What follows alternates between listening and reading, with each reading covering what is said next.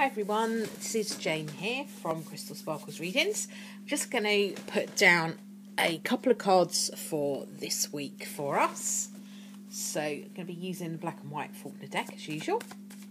Let's have a bit of a shuffle and see what we've got this week. Okay.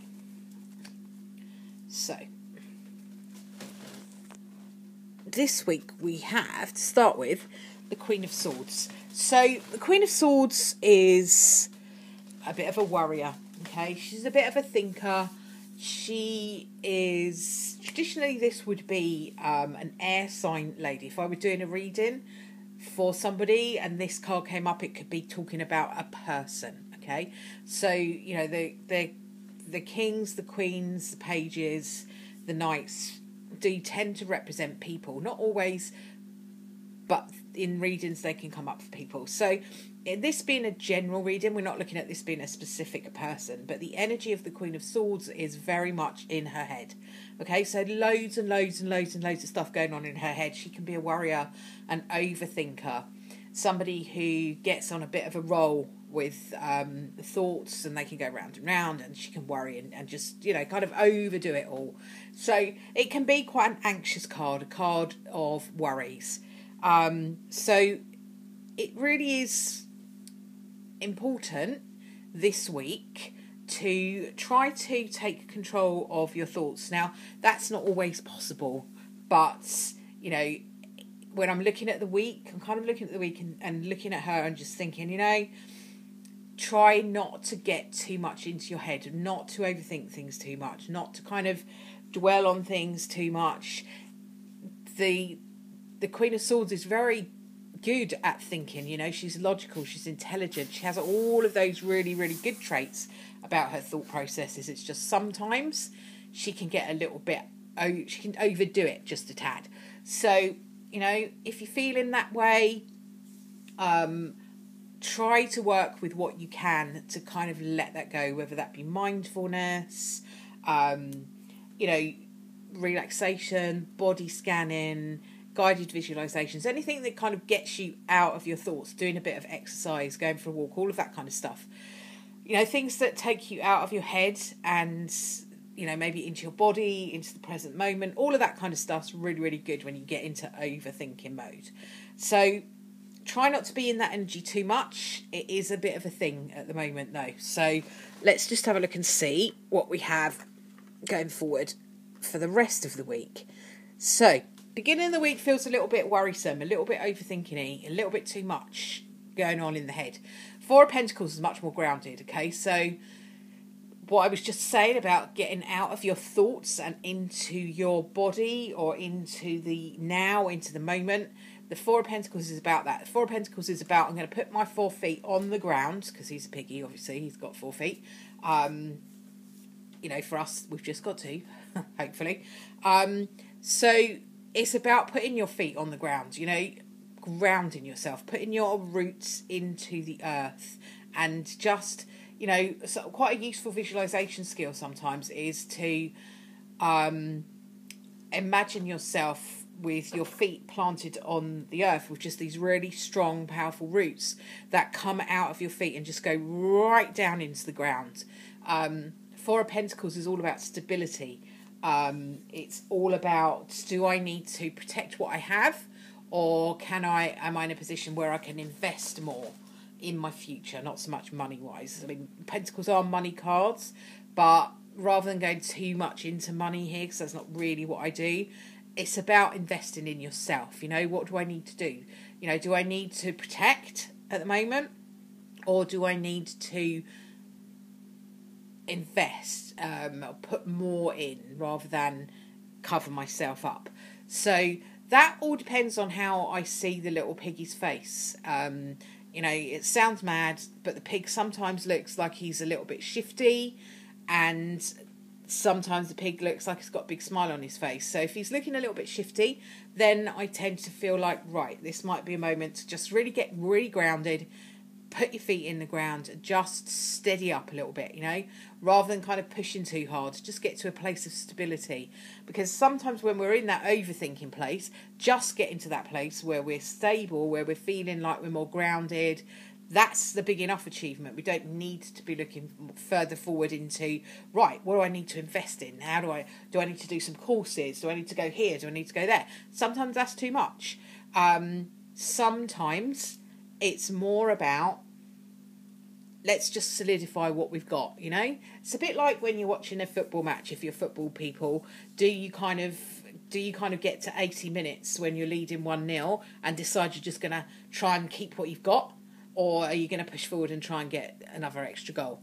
Um, so it looks to me from the look on the piggy's face at the moment is that we're going to try and and we're going to try and keep our 1 0 win at the moment. We're going to try and protect what we've got.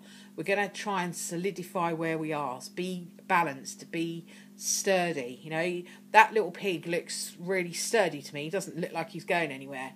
Um, doesn't look really unhappy, but also I don't feel like his energy is saying, come on, let's push forward. So it's about stabilising, it's about protecting what you've got and sort of, I don't know, um, just focusing on where you are in the moment, being grounded, rather than allowing your head to run away with you. You know, the Four of Pentacles, the Pentacles cards are practical, they're more grounded. So it's about doing something.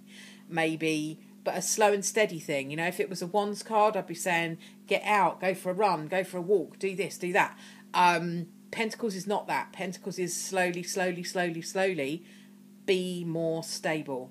Just focus on the practical focus on where you where your energy is putting your roots down all of that kind of stuff. So quite interesting cards um, at the moment. Just sort of generally saying that we're going to be working on stability and not getting too carried away in our thought processes if it's possible to get out of those. So this week i'm going to pop down um, a brian card um, instead of an oracle card. These are these are they're basically oracle cards anyway, but they're the cards that sort of support the black and white Faulkner Tarot. Um, the lady that writes the Faulkner Tarot that created the deck that I'm working with also created this deck, which is Brian's deck, um, which is a deck that she worked with with her guide, and her guide is Brian. So this is the deck. It's called Brian's deck. So just going to do that now. I believe she has just had this deck reprinted because it's been out of print for a little while, Brian's deck. Um, if you want to get it, if you look her up, her name is Rhiannon Faulkner. I will try and put a link in the description below this video so that you can have a look at that. I think she's got some on her website, but it's been a while since she's had them and I don't know how many she's got. So if it's a deck that you're interested in, it's well worth having a look. Okay, let's have a look and see what Brian's got for us today then. Okay. So here's Brian. Wow. So there's Brian. We are talking about the energy of being grounded. The message on this card is this is the answer to your dreams. Stay grounded and focused and say thank you to our Creator. So, despite the fact that we have all this head stuff going on, if we work on our energy and we ground ourselves, we we will receive the blessings that the universe has for us. You know, sometimes we're really bogged down in stuff. Um, we're anxious, we're worrying, and we're scared. We kind of lose sight of the good stuff. So it's really important to kind of just note down any any little good thing that you see, any little win that you have, anything that can take you forward rather than backwards. So I'm not one of the positivity police because I do think it's important that we recognise our pain if we've got pain rather than just bury it and bury it and bury it. No, I'm going to be positive all the time. That's not really humanly possible, to be honest. We can't all be positive all of the time. And if we were, we wouldn't see the contrast. So we wouldn't recognise happiness because we haven't we haven't experienced sadness. We have to experience everything, um, even when it's a pain in the butt. So what Brian is saying is there is even though you might not think so right now at this minute that the universe or angels or God or whatever you happen to believe in there is there is something coming that is really, really good for you. Um, have a look at all the small things around you, the, the beautiful things that you might not have noticed. Um, I saw this evening an absolutely stunningly beautiful crescent moon, and just it was just so perfect. I wish I could have taken a good photograph of it, but I'm terrible with the camera, and I've only got a phone camera, so it wouldn't have come out properly anyway. But it was just absolutely beautiful to look at, and it's just those tiny little things that you don't always notice that sometimes when you're in your head and you you know you're bogged down you don't notice them take a little bit of time to have a look at those things this week because i think they'll really help to to kind of move you forward in a positive way. I'm going to leave that with you for today and i will be back again next week to put down some cards for next week. In the meantime have a good week and thanks for watching. Bye for now